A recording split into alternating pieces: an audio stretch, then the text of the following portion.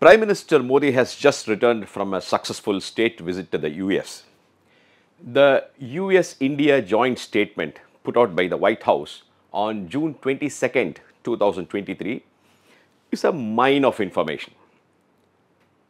In this video, we will focus on what the two countries have said about clean energy transition and we will also discuss the significance of what was said.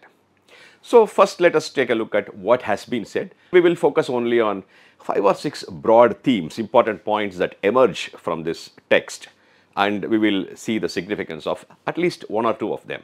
Number one, the US India New and Emerging Renewable Energy Technologies Action Platform is to be launched. Two, India will co-lead hydrogen breakthrough agenda. Three, some Indian companies have announced investments in the US, totally about $2.5 billion. A global biofuels alliance is to be launched next month. A payment security mechanism is to be created for e-buses and talks about nuclear energy have been revived. See, these are broad themes. Now, of these, let us take three points of these and discuss them, you know, in a little detail. The first one is this, the hydrogen breakthrough agenda. Now, what is this hydrogen breakthrough agenda?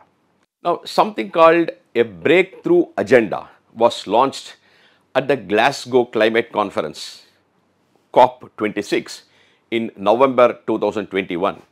45 world leaders committed to work together this decade to accelerate innovation and deploy clean technologies in five areas power, road transport, steel, hydrogen and agriculture.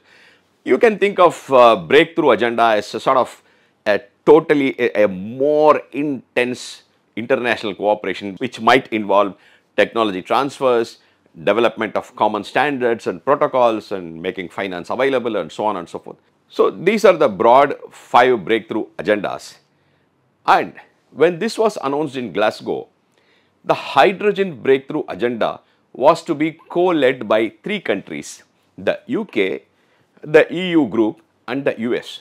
That time there was no mention of India and now according to this joint statement which was released last week, India has joined as a co-lead.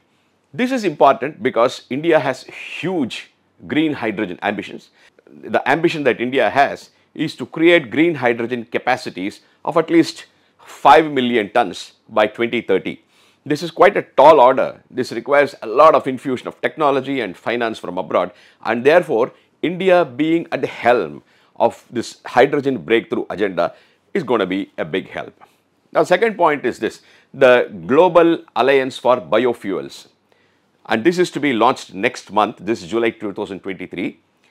Now, go back a little, it was in February 2023 that the government of India announced that it was working on this alliance along with Brazil and the US. The alliance aims at facilitating cooperation for promoting sustainable fuels. Now, India has a large ethanol blending program going on. The idea is that by 2025-26, every liter of petrol sold will contain 20% of ethanol. A methanol program is sure to follow very shortly, therefore they are very green. Brazil and the US are among the two countries that are very well experienced in handling these blended fuels. You know, therefore, this Global Biofuel Alliance will enable India to learn a lot, to pick up a lot from other countries and this is going to be a big help. Now, India has been very keen that this alliance comes into being during its G20 presidency. Now, the, clearly the United States is supporting India and therefore, it is a very significant point. And finally, this is again probably in my mind the most important point of whatever was said in this joint statement. The announcement of setting up of a payment security mechanism for e-buses. Now, as India rolls out tenders for e-buses, the e-bus manufacturers, say Tata Motors, Switch Mobility, and Olectra, a few of them, they produce these buses and they run the buses on behalf of the various transport undertakings on specified routes for a per kilometer fee. Now, the key problem here is the fear what if the state transport undertakings do not pay the bus operators their dues? Now, you run the bus, operate the bus for a month or two and uh, you are entitled to earn a per kilometer fee.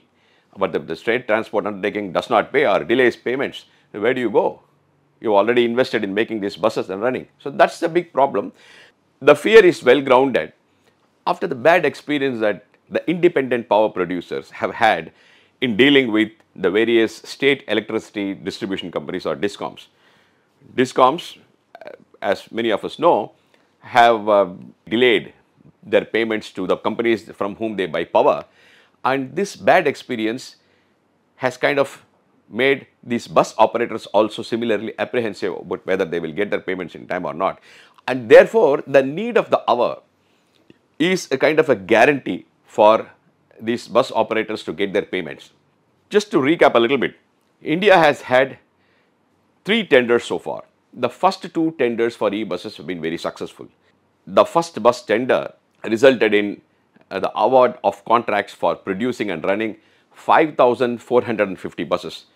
The second bus tender also resulted in the award of 5,645 e-buses. Now, up to this point, it has been okay because bus manufacturers were able to take a little bit of risk and now they are throwing up their hands and saying, look, we can't take any more risk. We need some kind of a guarantee that we will get our dues back. Well, this is the significance of this payment security mechanism. Business Line has learned that the Rockefeller Foundation will be bringing in 135 million dollars and the US government will chip in with another 15 million dollars to create a 150 million dollar fund.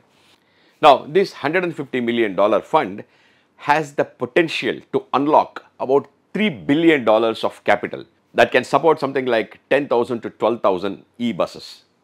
And they would not happen if it were not for this payment security fund. This is something that can be operationalized very quickly and therefore I'm saying this is a very significant point that emerges from the US-India joint statement. So to sum up, the US-India joint statement has a lot of goodies for India's clean energy transition and that is very heartening. For more videos on India's green transition journey, please do subscribe.